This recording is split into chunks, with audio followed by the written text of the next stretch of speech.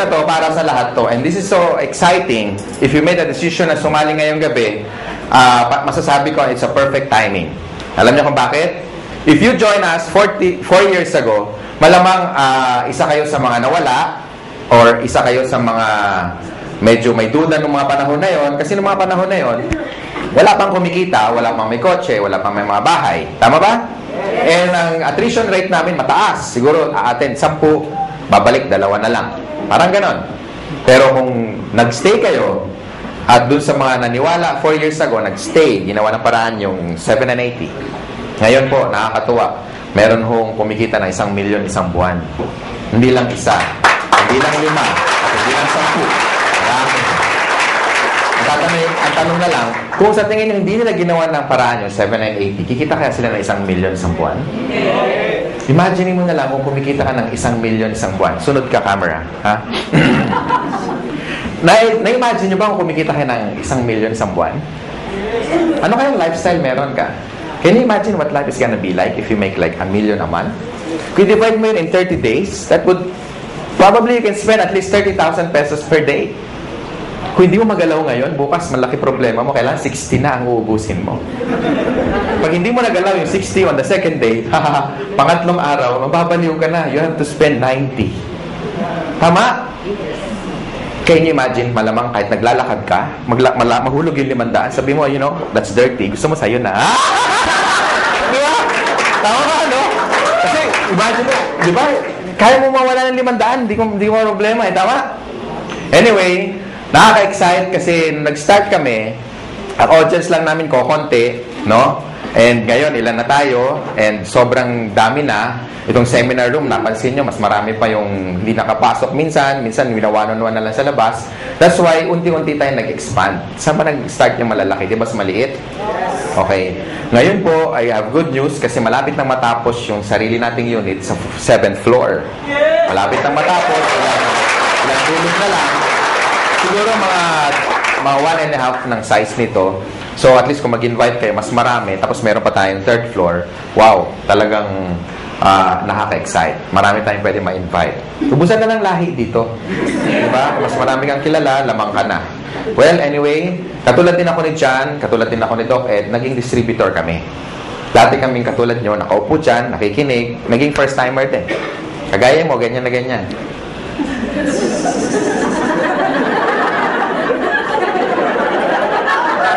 Parang iniintay, kailan matapos. Okay? And, dati po, isa po akong uh, empleyado. I worked in one of the biggest communications company. Ayoko nang banggitin kasi past na yun. Pero PLDT yun. Siyempre, hindi ko kinahiya. And, uh, I worked there as a programmer. So, parang si George, isa sang engineer, no? And na-invite ako katulad nyo, naging first-timer. Ang difference lang nung time ko, 17 years ago, was mas marami kami, anim kami. Yung apat, kinain lang yung mamon, siliksip yung sesto, naihi, kunyari, ayun, umalis, tumakas, hindi na bumalik eh. Okay? Ako natira, tsaka tatay ko. Tatay ko kasi nag-invite. Nakakatuwa, tatay ko, di ba? Sabi niya, anak, alam mo, ang ganda dito, grabe. palakpak siya ng palakpak. Ako, nakita ko siya, mapalakpak. Si, eh, syempre, dadalawa na lang kami. palakpak na rin ako, di ba? Hirap na eh. So, hindi ko alam kung ano nakita niya because on the first day, pag-uwi niya galing sa seminar, 17 years ago, ha, kakaiba, mas, mas maganda nga ngayon, at least marami. Kukwento ko lang, ha, para at least naging kagaya niyo rin ako eh. And nung time na yon, kasama ko yung brother ko, uh, na-excite kami, ah, hindi kami na-excite, kasi tuwing umaga na lang, tuwing magbe-breakfast kami, sabay-sabay, sabi niya, alam mo anak, grabe. The following day, ganoon na naman, tuwing mag-almusal kami, alam niya, anak, grabe. Halos isang taon panay ganun. Alam mo, anak, grabe. Hindi ko alam kung may sumisipot ba o wala kasi parehong grabe yung sagot niya. Eh. Kasi wala, parang walang nangyayari. So, pag uwi namin, after attending the seminar, ako rin, dalawa na kami. Alam mo tayo, grabe nga. Di ba totoo? Kaya pag uwi niyo mamayang gabi, malama, expression niyo, grabe. Tama? Mahulog kayo sa jeep, pagbayad kayo, mama, bayad, oh, grabe. Bahala na, kung saan kayo galing, bahala na siya mag-isip. Di ba? Mama, sukli ko, grabe. Di ba?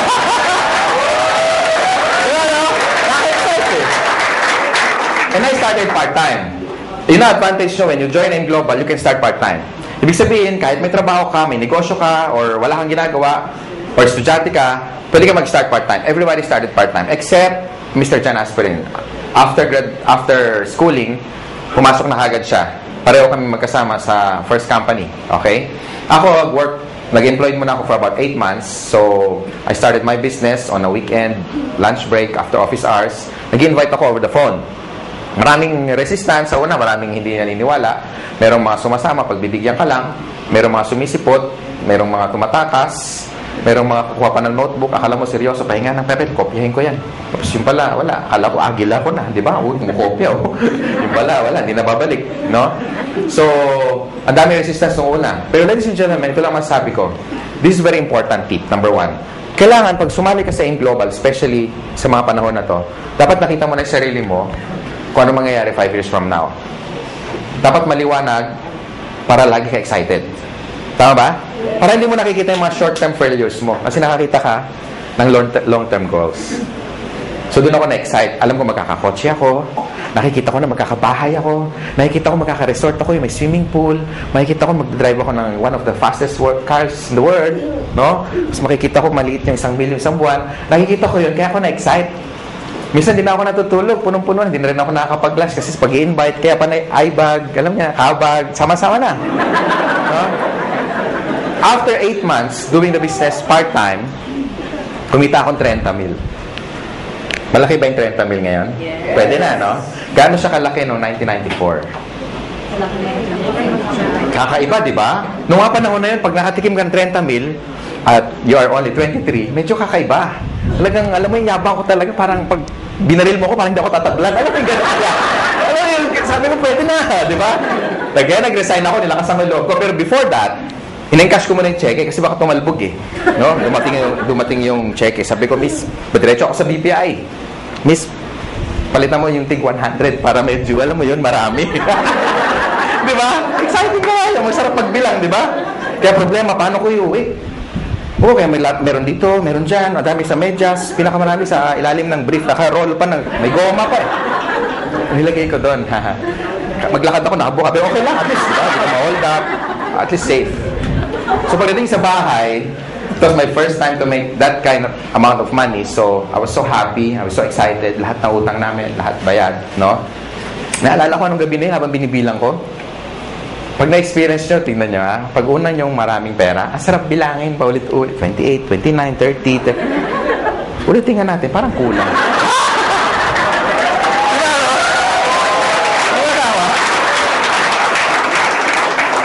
Alam mo naman kung magkano kasi ikaw nag-encash eh. Tama?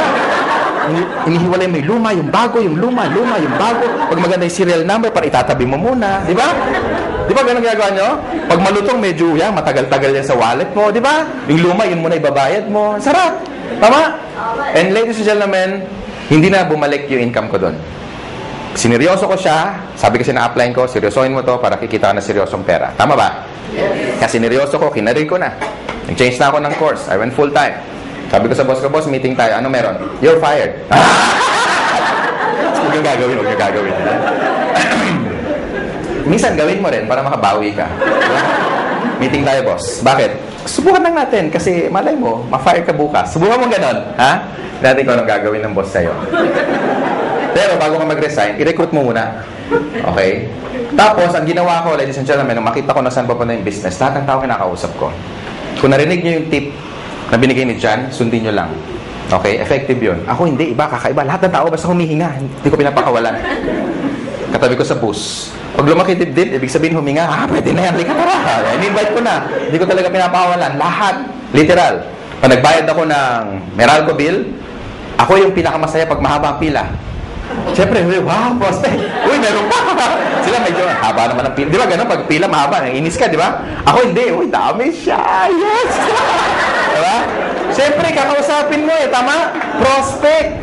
Di ba? Tapos maingay ka pa. Gusto mo extra income? Ang sagot lagi, ano? Oo. Wala pa nagsagot na, ayoko nga kadiri ka. Walang ganun eh.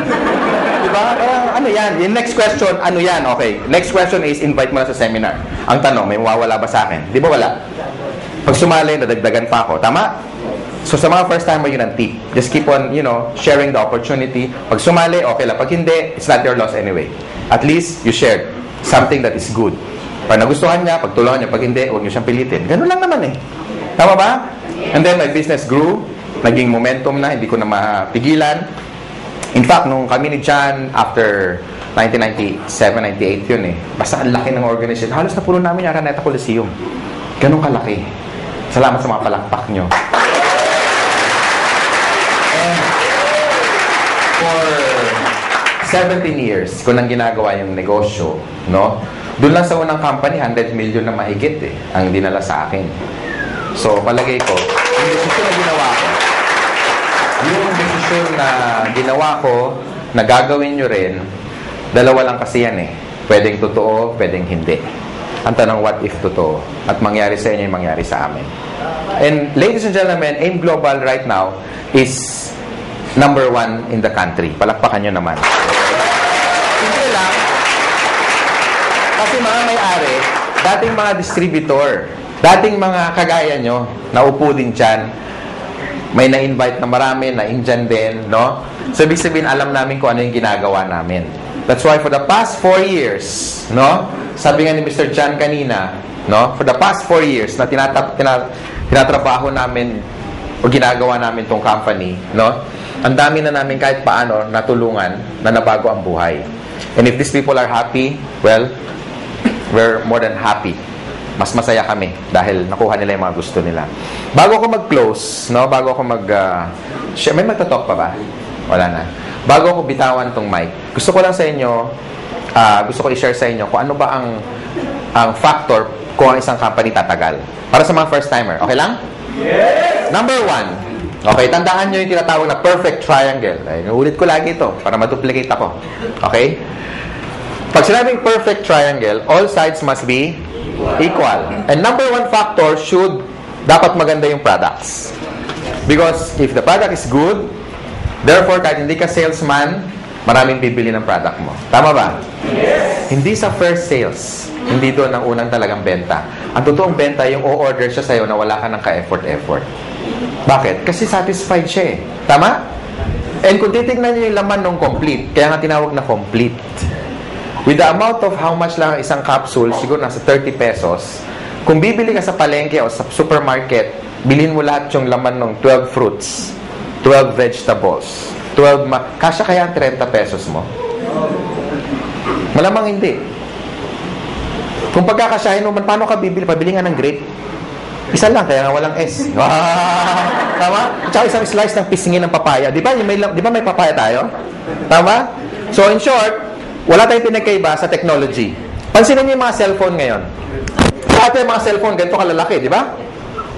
Nagkaroon ako nito, yung analog na ganyan. Pag denial mo yun, tuti, tuta, titi. Ah, di ba? Lakas. Oo. Oh. Noong 1996, nagkaroon ako nito. Pagka duma- sakay ka sa LRT, dala ka bit-bit yan, pasikat ka. Talagang, wow, pogi points. Ayun, suot mo yan. Ganun din, wow. Pareho reaction, pero magkaiba yung comment, no? No? Now, ang point ko is meaning obsolete na. Because even technology, hindi sila natutulog. How much more yung supplement? Ang cellphone ngayon, maliliit na, di ba?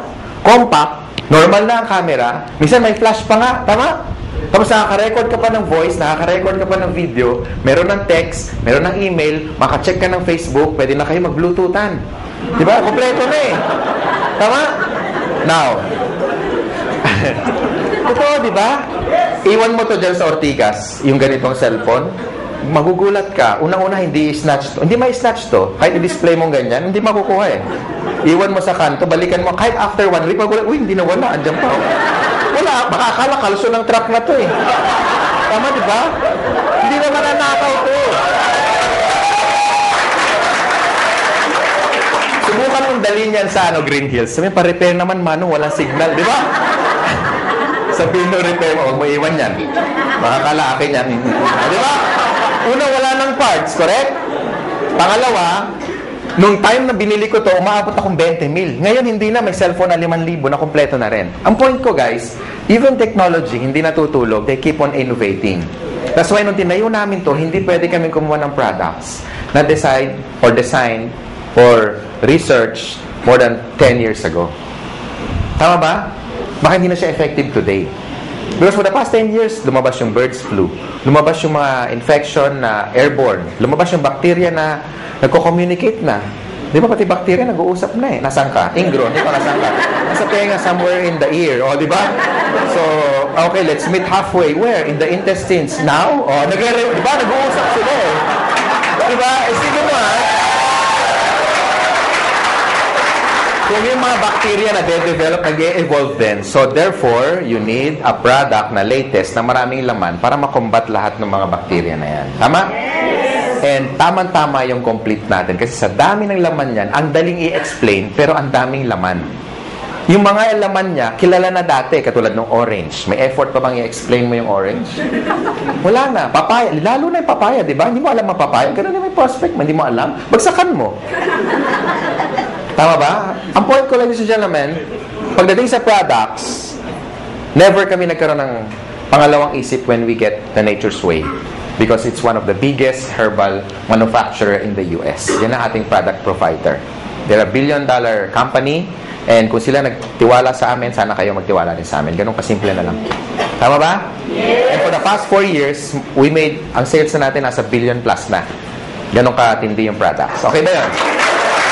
Number two, dapat maganda yung marketing plan.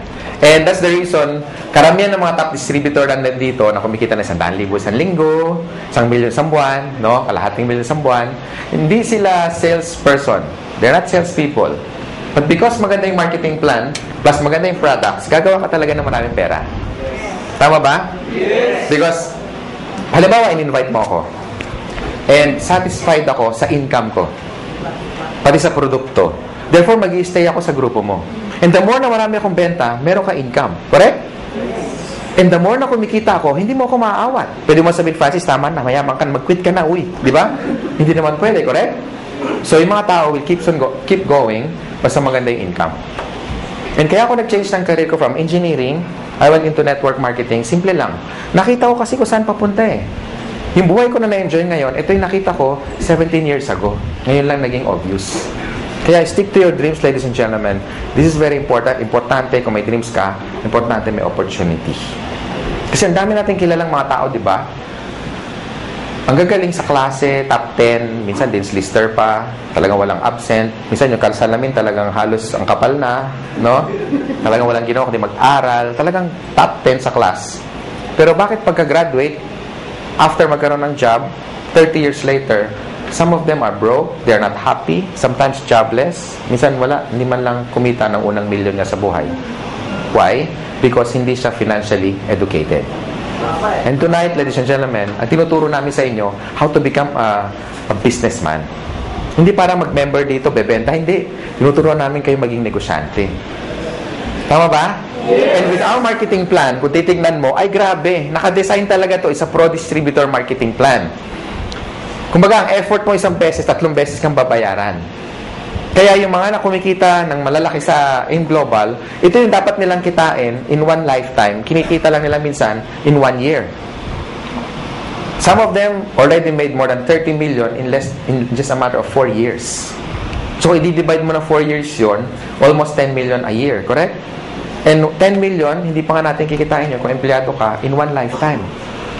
Tama ba? Yes. So, ang marketing plan is very important kasi ang tinitipid mo rito hindi pera. Ang tinitipid mo rito yung tinatawag na oras. That's why I love doing this business because engineering ako before.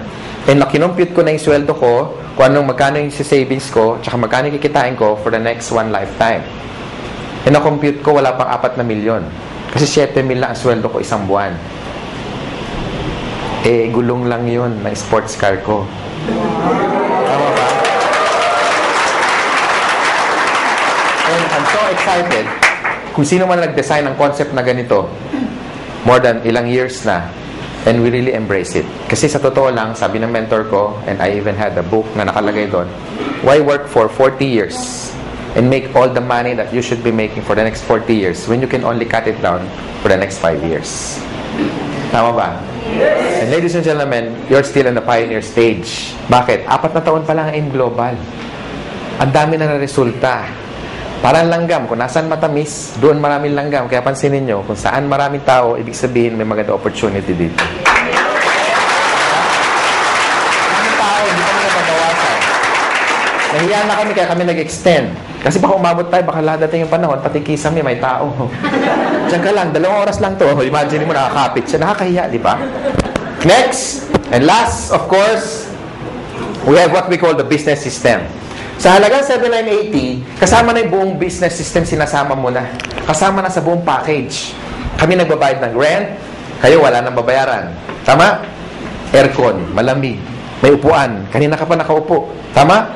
Kami na nagbabayad ng warehouse, kami na nag import kami na lahat nagpapa-approve sa BFAD, kami na lahat nagbubuo ng system, pati sa international global expansion, kami na lahat, wala ka naintindihin.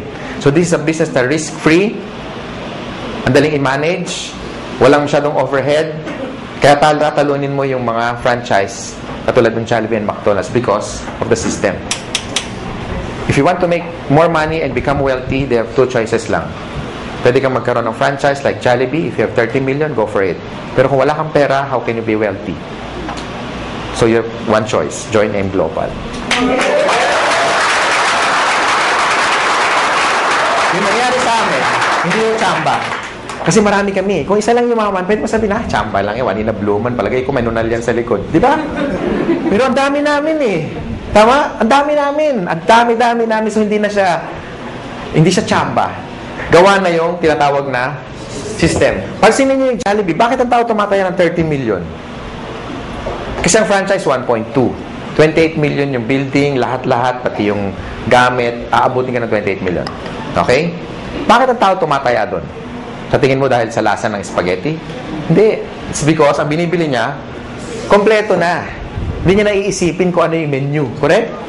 Pansinin yung Jollibee, lahat standard. Number one, pricing. Yung manok, pareho, pati kulay, pati timbang.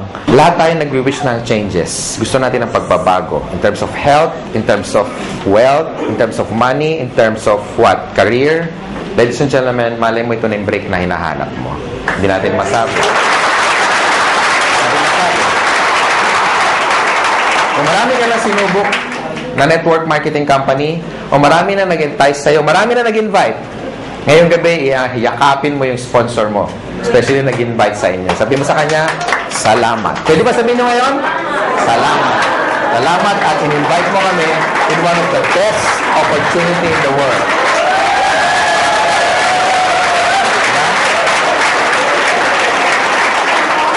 Ako, I'm forever grateful sa tatay ko. Ngayon, daddy na. Kasi siyempre, may pera na kami. No, no.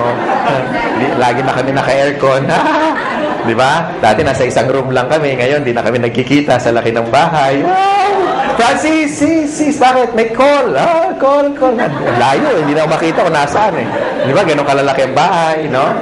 Tapos, may resort na rin ako na lahat kayo mga taga-im global, walang bayad pag nagpunta kayo.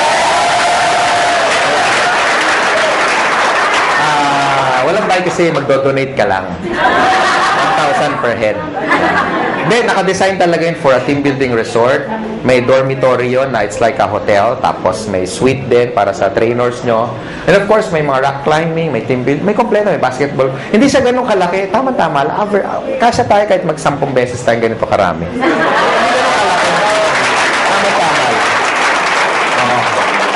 And yun talaga dream ko, magkaroon tayo ng tinatawag na camp. Okay? Camp, boot camp, training camp. CAMP stands for Kabantog Aspirin Miguel. Proud. Di ba? Come true. So, doon kami nag invest Because, ladies and gentlemen, gusto ko magkasama tayo na matagal. And gusto namin, mangyari sa inyo yung nangyayari sa amin. Or yung nangyari sa amin on our past company na tinuruan kami paano mag maging negosyante. Tama? So, the decision is yours. I hope na gusto niyo opportunity. Again, sa mga first-timer, yung pagpunta nyo rito, malaking bagay sa amin. Palakpakan nyo, mga first-timer. Gusto nyo man yung negosyo o hindi, yung pagpunta nyo, malaking bagay sa amin. Okay? Sa mga sponsor naman, uh, tutukan nyo yung mga first-timer. I-share nyo sa kanila how to get started. Of course, i-prepare nyo sila sa mga negative, sa mga discouragement, no? Ngayon, sa mga negative, I suggest isapon nyo, tapos dalhin nyo rito, itaktak nyo para maintindihan yung negosyo, ha? Para hindi kayo basta kinokontra. Doon sa mga wife naman na hindi pa member yung husband, kasi pag ganito, you want to stretch your time and make yourself productive, sometimes maraming sakripisyo. Uuwi ka medyo late ng gabi. Well, it's part of the business. Tandaan mo, pag may tinanim, merong pero hindi nyo alam, may sakripisyo mas marami. Tama? Para maintindihan ka ng husband mo, bakit ka ginagabi, dalhin mo na lang dito. Tama ba? Bago mo kumbinsihin ibang tao, kumbinsihin mo muna yung katabi mo matulog. Tama? Kasi pag negative yung katulog, ba? Ba't ngayon ka lang? Anong oras na? Sabi mo, yayaman tayo tatlong buwan na, ba't ngayon yung rep natin walang laman? Excuse me, wala tayong rep.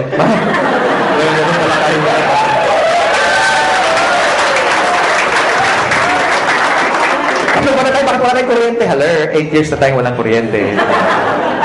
So, yun.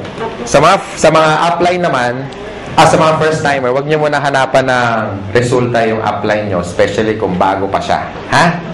Siyempre, kung sasali lang niya kahapon, wala pang kotse yan. Siyempre, baka, kasi na kotse mo, di ba? Ka-join lang eh, di ba? So, pag yung upline nyo bago pa, move to the next upline para matulungan kayo at masagot yung mga tanong ninyo. Tama?